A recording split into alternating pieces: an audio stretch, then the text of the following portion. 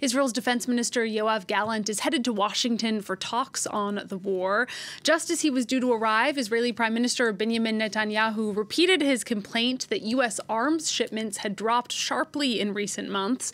U.S. officials have said they're not aware of any issues, though they have been at odds with Israel's right wing government over the surging death toll in Gaza. Here's Netanyahu speaking at his cabinet meeting this Sunday. About four months ago, there was a dramatic drop in the supply of armaments arriving from the US to Israel.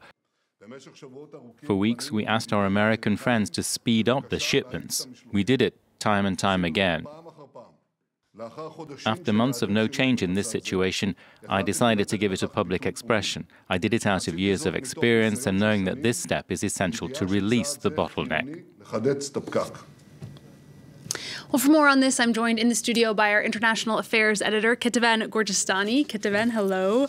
Now, despite the confused response from U.S. officials, it seems Netanyahu is not backing down on these claims. No, he's uh, definitely doubling down, and he's uh, also explaining uh, his move, as we heard in that soundbite, uh, basically as a, a, political strategy to say it out publicly in the hopes that it would uh, make the Americans change. But uh, that hasn't changed the fact that at least uh, until now, though we haven't re- seen any reaction to these latest comments by uh, the White House. The White House has been uh, very clear in their response, saying uh, whether it was the press secretary who said that they had no idea what he was talking about, or uh, the National Security Council spokesperson John Kirby, uh, who said that it was vexing and disappointing, and even more so, completely wrong. So the fact that Benjamin Netanyahu is doubling down on uh, that issue uh, is uh, raising uh, some questions, especially given the timing with uh, Yoav Gallant uh, traveling to the United States and having to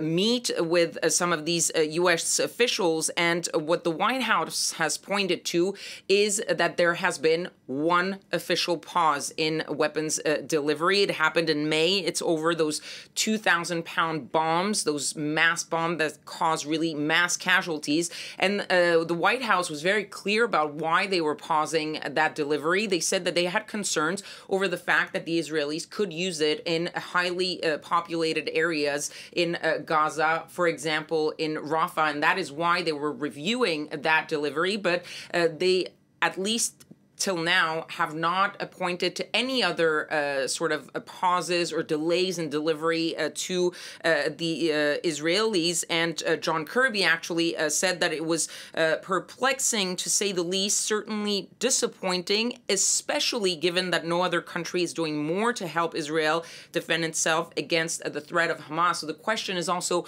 why would Benjamin Netanyahu, even though he said in that cabinet meeting that he was seeing good signs signs that this could be resolved, why he would double down again, uh, angering probably the Americans again ahead of those important meetings for Yoav Gallant. Yeah, let's talk more about those meetings, Kethevane. What what can we expect to come out of them?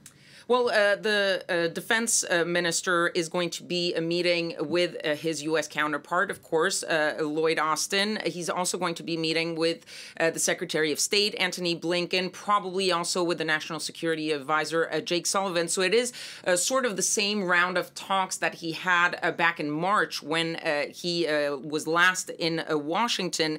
And initially, these were about discussing what was going on the ground, focused on the uh, developments in Gaza and where the Israelis are taking their war in Gaza. Yoav Gallant uh, wanting to talk about uh, the next phase of the war in Gaza, but there are going to be two other things now that are going to be discussed. One is the situation at the north with Lebanon. We've been talking about the rise in tensions at the, the border there, and that is likely going to be a focus of conversations, especially since the Americans have have been trying uh, for weeks now to avoid an escalation at that uh, northern border. And of course, he is likely going to have to discuss uh, what uh, is happening with those arms deliveries, uh, probably have some explaining to do towards the Americans, maybe get some answers uh, from uh, the Americans. But what is interesting to note is that Yoav Gallant is seen by the Americans as sort of uh, a bridge between uh, the Biden administration and uh, Benjamin Netanyahu. And he was already, when he was there last time, a sort of bridge at a time of tensions between uh, the two leaders. And it seems that this is likely going to be the case. Uh, again, the Americans feeling that they can discuss things with uh, Yoav Gallant as the defense uh, minister and someone who has also been critical of Benjamin Netanyahu, especially in the conduct of the war and the idea of what happened after the war in Gaza is over, which is something that the Americans are very focused on. All right, it's going to be interesting to see what comes out of those talks. We'll be keeping a close eye on it. Kethevane, thank you so much for that. That's our international affairs editor there, Kethevane Gorjestani.